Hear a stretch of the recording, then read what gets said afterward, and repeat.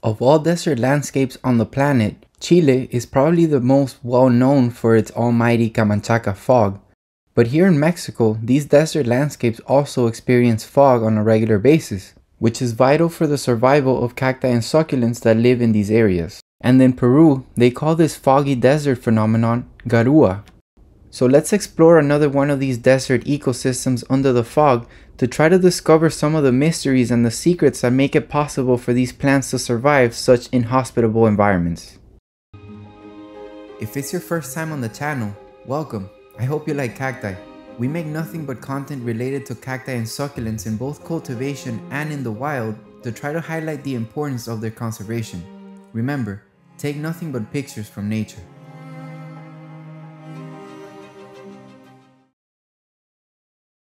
Hey guys, welcome back to the channel. We are in Mexico once again. We're looking for plants like always. And we're actually looking for a dwarf cactus that I'm not going to name just in case we're not able to find it because I've already jinxed myself before and I'm not going to do it now.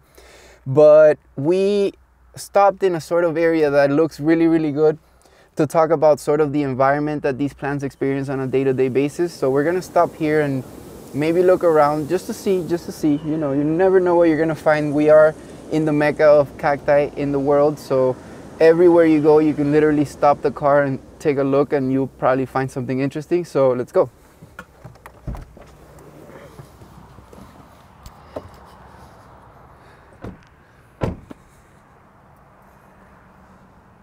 Oh, look at that.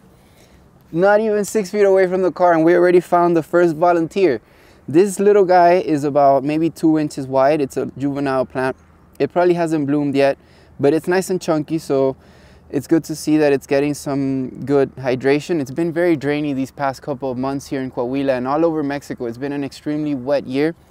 And that's why we're looking for plants because we're hoping that we can find some blooming and some doing other interesting things that they only do when it rains. You know, when they when it doesn't and it's in drought, you usually have a really hard time just to find them because they get completely flat with the ground. Right now they're just a little bit chunky, they're sticking out just a little bit and the, the ground sort of feels wet to the touch. Um, it's been not only rainy but you're gonna see some of the shots of the surrounding fog that's all around us and it's not only fog, you do get a very very small percentage of precipitation. I did feel a couple of raindrops so that's why we wanted to stop here is to talk about not just the plants themselves. This is a Lophophora williamsii, by the way. I'm sure it needs no introduction. You guys already know what it is. But we wanted to talk even more so about the environment that these plants are living in right now because it's really interesting to see just how little precipitation or rain they require to absorb moisture and to survive. Even if it wasn't such a wet year like it is right now, and they hadn't experienced all the rain that's been going on in the past couple of months, they would still be nice and happy and thriving just with this very, very small amount of moisture that they're able to capture from the little tiny droplets of precipitation that we've been experiencing here. So we're gonna go around and look for some more plants. I'm pretty sure we're gonna find some interesting things because we're in the middle of nowhere and that's where you find the beautiful stuff away from, from people because unfortunately we are part of the reason why these things are disappearing. So I'm gonna take this little segue and take advantage of it and bring on my dreadful cactus poaching message because you're gonna hear it in every single video that I make. Don't buy poached cacti and don't be an asshole. Don't rip these from the ground. It's not worth it. It's, there's no need for it. You can find them in cultivation. Please, please, please buy these plants from cultivation. We're gonna keep looking for more. Hopefully we'll find some bigger lophophoras and I also see some blooming agave. I know some of you guys are really into agave. I'm a little agave illiterate at the moment. I'm still learning about them. Don't worry, I'm gonna try to do my homework because I know you guys love them. So we're gonna go walk around and try to find some more beautiful plants. Let's go.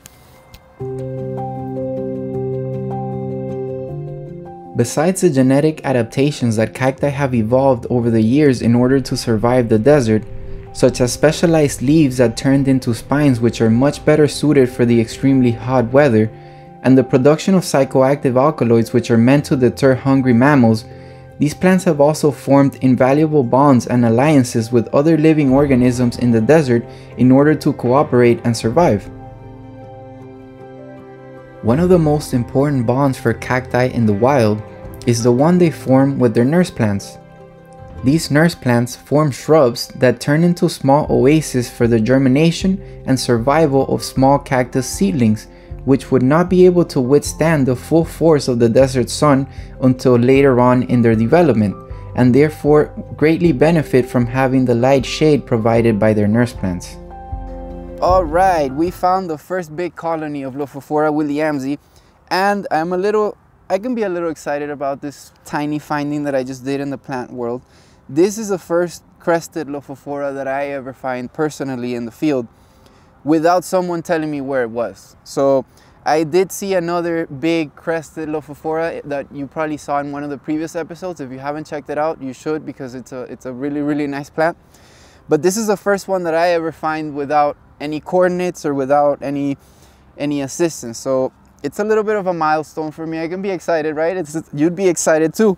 It's a baby crest. It's not that big. It's about maybe four inches wide, but it's still it's still nice. You know, it's still cool. And this little population here looks quite healthy. They're showing a tiny little bit of stress. They have that little purple hue that you see when they're under a little bit of stress, but they're in very, very good shape. Some of the other plants that we've seen have been bitten by bugs or maybe rabbits. I'm not sure exactly what goes on here and what, what feeds on these Lophophoras. But these look very nice. One of them doesn't look so nice, but most of them do. There's about maybe 10 individuals of Lophophora williamsii just in this very small 2 by 2 foot area, which is a very good number for Lophophora williamsii populations. I've usually found Lophophora fricii in denser populations, but never Lophophora williamsii. That's just been my experience. I'm not sure if it's just that I haven't, you know, I haven't gone far out in the middle of nowhere enough yet to find very dense populations, but it may also be because they've just been poached and that's why the numbers are increasingly low. I'm sure most of you guys know these plants produce some very interesting alkaloids, some of which are psychedelic in nature. And for that reason, a lot of people like to pull these from the earth and, and you know, consume them, which is, it's, it's a shame that we can be the cause for the destruction of such a beautiful plant. But anyway, I digress. We have also found a bunch of other interesting things around here that we're gonna show you. And it's, it's very fascinating to me the amount of biodiversity that you can find in such a small space here in Mexico. We have seen at least 10 different cactus species in a very, very small space here. And I'm sure that if we keep looking, we could spend the entire day just finding new things here. The Lophophoras look very, very healthy. They are showing some very nice coloring. Some of them have the, the very subtle purple hue that you want to find that means just a little bit of stress, but not too much where they're being overwhelmed by it. And they're completely exposed to the sunlight, guys. The sun, set, sun rises on the east on that side and it sets on the west over there. And we're in a valley. So you can imagine that these plants receive sunlight, direct sunlight for the entirety of the day and some of them, these are in some sort of shade. I'm, I'm sure this nurse plant doesn't look like much right now, but these do grow out. They start growing some, some nice vegetative tissue, which is the green stuff. And that's what protects some of these from that direct sunlight. But we're going to show you some other individuals that we've seen that are 100% exposed to the sunlight. And they're doing great. And it's also interesting that right now it's 10 o'clock in the morning and there's no sun at all and that's because there's a very thick covering of fog that we're also going to show you that I also find fascinating because I have read and I've talked to people who in cultivation actually keep these plants in total darkness for the entirety of their winter dormancy. And I always thought it was insane. I mean, how could they survive and not rot in total darkness?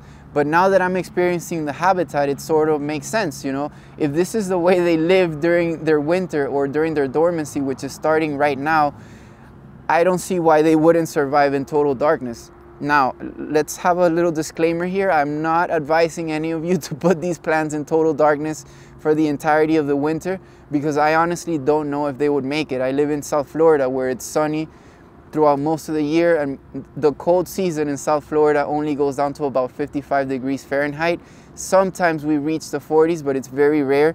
So I don't have a lot of working experience with growing these plants in extreme cold weather conditions. So I would never recommend you put these guys in total darkness, but some people do, and now it makes total sense. I mean, the weather right now is great. It's about 60 degrees, it's nice and chilly, and there's no direct sunlight. But during the summer, this is a very different scenario. These plants probably experience higher than 100 degrees Fahrenheit on a daily basis, and as I said, direct sunlight. So it's really interesting to see how these guys are just happy to be right in the middle of nowhere in the sun. And the, the, the ground sort of feels a little wet. It's been a lot, it's been very rainy lately here in Coahuila. So it's interesting that, you know, it's not only the cold and the darkness, but they're also a little wet and damp under the soil and they're totally happy. I'm sure that if you have any of these in your collection, you know that that's a very big no-no in cultivation. Dark, cold, and damp is a death sentence for Lophophora. But we're gonna keep going. We're gonna show you some amazing things. I did see a very nice mammillaria plant on the other side of the road, so we're gonna go back there and look at that. And there's a train, I don't know if you guys heard that, but we've also found some very nice agave that are blooming. So we're gonna go check them out because I'm a little agave illiterate, but I know some of you love them. So we're gonna go check them out.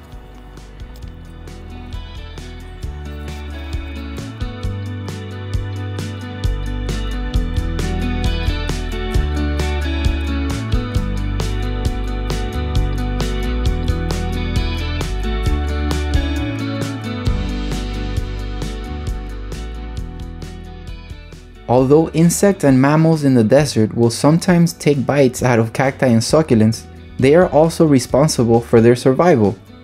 Since insects will often disperse the seed of cactus plants and are also responsible for maintaining the structure of the soil around their roots, while mammals will help deposit nitrogen into the soil as they poop, a priceless nutrient for plants in general, but especially here in the desert where it's not readily available.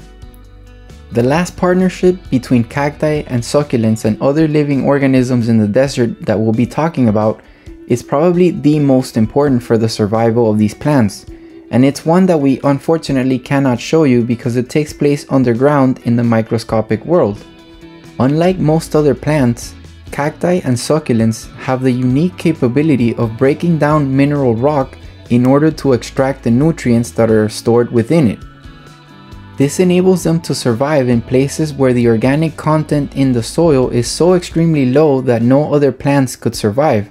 And it's all thanks to a symbiotic relationship with fungi that live on their roots and break down the mineral for them, making nutrients readily available for them to uptake. It's quite remarkable to see how each and every one of these living organisms has a vital role to play in the survival and the well-being of the entire ecosystem and it makes you realize just how important every single species of living thing on the planet is since we're all connected and we all play a vital role in the survival of our planet. Remember, take only pictures from nature, never take the plants or the animals.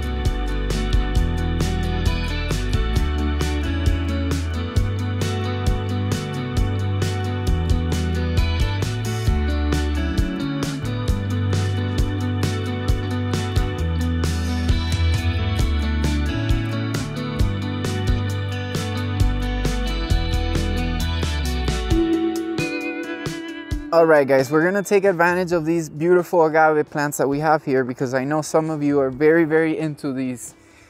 I believe these are agave americana. Don't kill me if they're not because I am very illiterate when it comes to agave. I'm still learning about a lot of plant families. There's a ton of them and I have to do a lot of homework. But I can tell you that these plants are known as monocarpic, which means once you start seeing these beautiful bloom spikes, it's unfortunately the end of their life cycle. They have to put a tremendous amounts of energy into producing such a huge inflorescence. So this is the last thing they do before they're dead. Unfortunately, they have to draw all of their energy and all of their sugars and all of their carbohydrates and build them up to be able to create such a magnificent structure.